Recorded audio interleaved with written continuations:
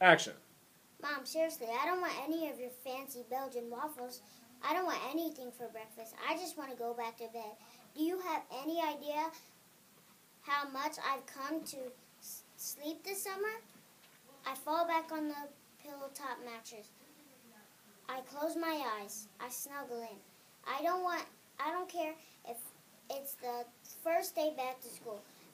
Just give me 30 more minutes. Please, my soul begs. My life depends on this. My very livelihood at school could depend on my getting more sleep this morning. I and I know you wouldn't risk your child's life or reputation. So I'm just gonna head on back and I'll see you soon.